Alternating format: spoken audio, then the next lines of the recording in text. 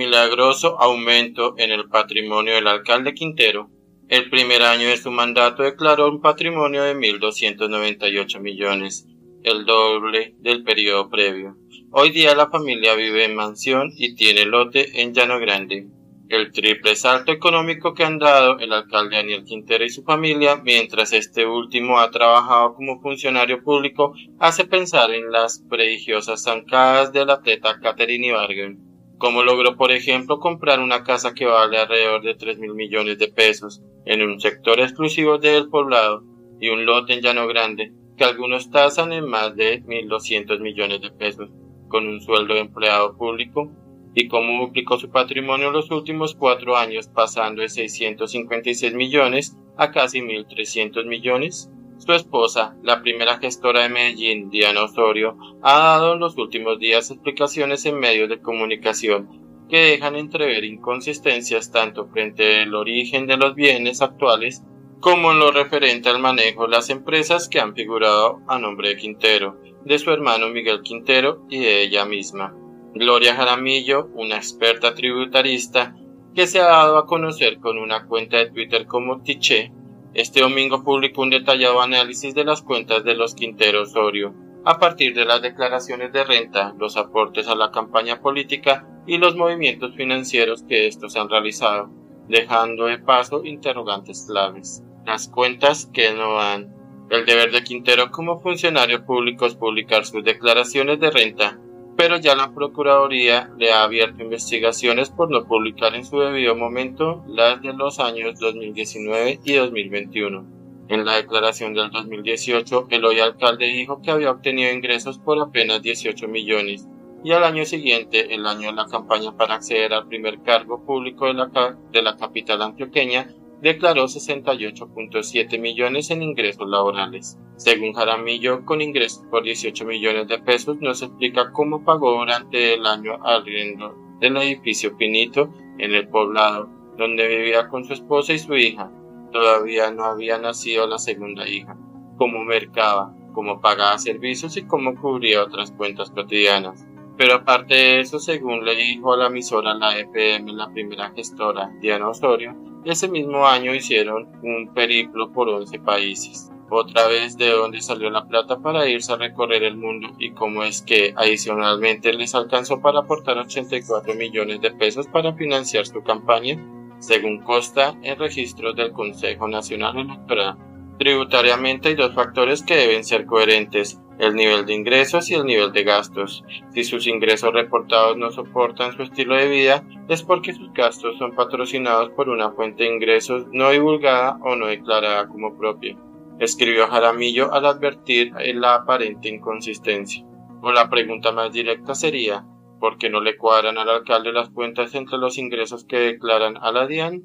y los gastos que superan en mucho los ingresos declarados? En 2020, su primer año como alcalde, Quintero declaró 318 millones de ingresos brutos, de los cuales parte sería explicable por su salario que se acercaba a 16 millones. Le subieron a cerca de 17 millones tras declararse la ciudad distrito de ciencia y tecnología, y el resto lo podría justificar por el dinero que el gobierno le debió trasladar por reposición de votos. Tal vez el año que más inquietudes motiva es el último año declarado, el 2021. Primero, porque muestra un incremento en el patrimonio a 1.298 millones, el doble al del año previo, incluida en una ganancia ocasional de 340 millones, producto supuestamente de la mitad que le llegó por el traspaso de un apartamento a Lauro Peggy, la prima de su pareja Diana, bajo la modalidad de fiducia. Daniel Quintero era propietario de la mitad de este apartamento, la otra mitad era de su esposa.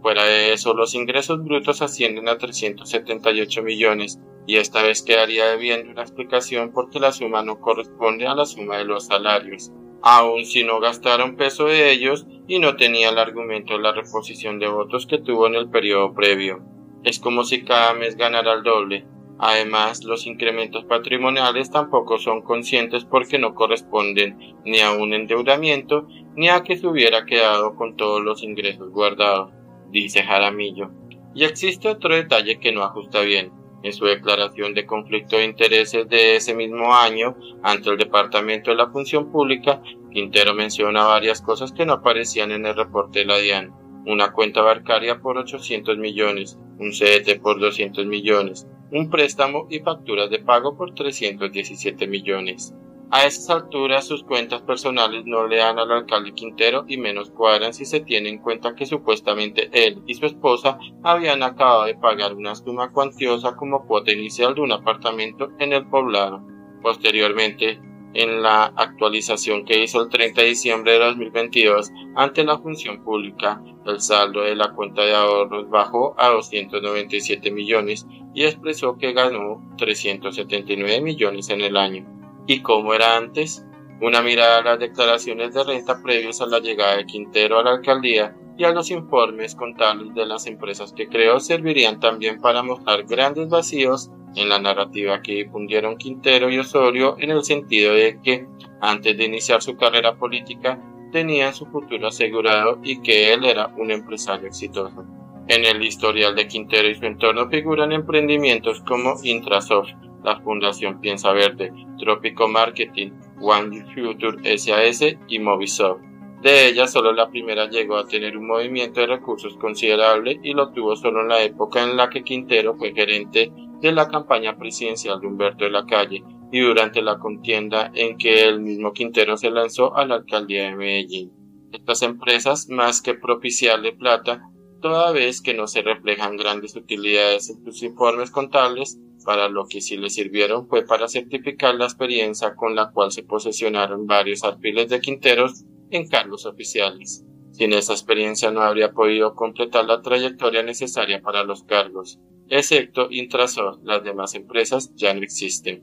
Bienes de la familia. Hoy en día el alcalde Daniel Quintero no tiene ningún inmueble registrado como propio ante las instancias de la Superintendencia de Notariado de Registro, lo extraño es que en la declaración de conflicto de interés del 29 de diciembre pasado publicó que aún era dueño de un apartamento más un garaje por 324 millones de pesos en Bogotá, el mismo que supuestamente había trasladado por fiducia a Lauro Peggy y unas horas después, el 30 de diciembre, hizo otra actualización en la que ya no figuraba sin inmueble sin una propiedad por el insólito valor de 600 mil pesos en Medellín. A nombre de su esposa solo hay en la supernotariado un lote en la vereda El Tablazo de Río Negro, que según documentos adquirieron de un pariente de Quintero por 32 millones de pesos en 2015, el año en que empezaron a convivir el para entonces gerente del programa Impulsa y Diana Osorio. Ese terreno valdría en realidad más de 1.200 millones de acuerdo con el valor de la tierra actualizado